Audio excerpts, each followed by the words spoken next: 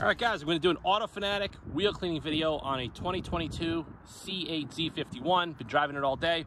We got the wheel cleaning foam and the IK foamer. We're going to foam it up.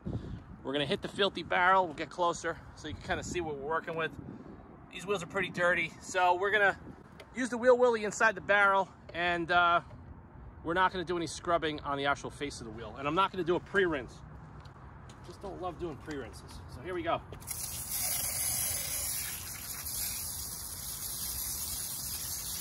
Get nice thick foam, nice even coverage inside there.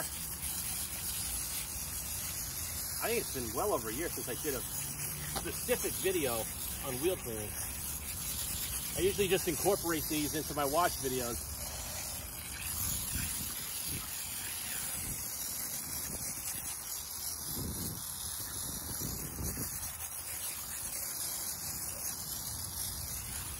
Okay, get the wheel woolly.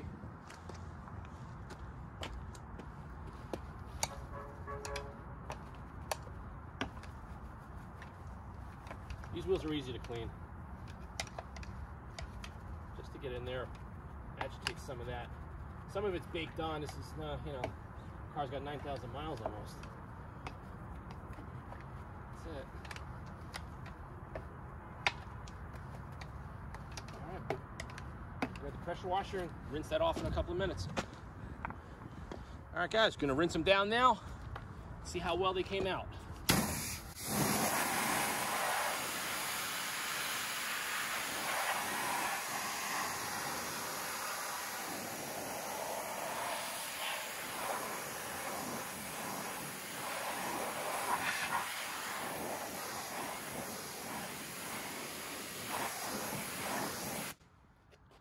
Come out awesome. Check it out.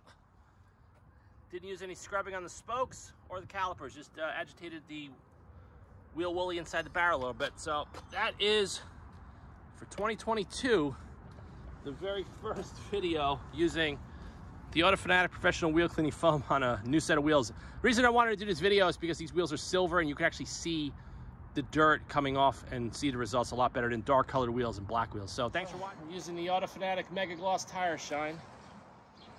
Give it a little quote on the, this car actually has the Michelin Sport 4S tires. Um, they have an option of an all-season version, which is what I have on my Stelvio. Go in there. Looks good. We'll knock this out quick. And almost everybody with a Corvette or a car like this, even past, they love the shiny tires. And this stuff is great. And I'm gonna grab a towel and I'm gonna touch up the wheels from some of the water drips in a minute. Okay. I usually like to do the tire dressing first because sometimes the applicator will get on the perimeter of the spokes and around the rim and I gotta go hit it anyway with the towel. So that's just my steps on how I do it. So yeah, just just accidentally hit it right there. You know? So that's that.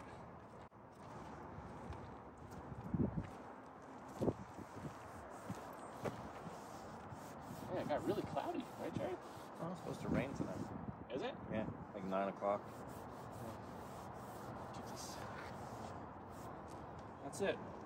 Auto Fanatic Mega Gloss Tire Shine on the Corvette Z51.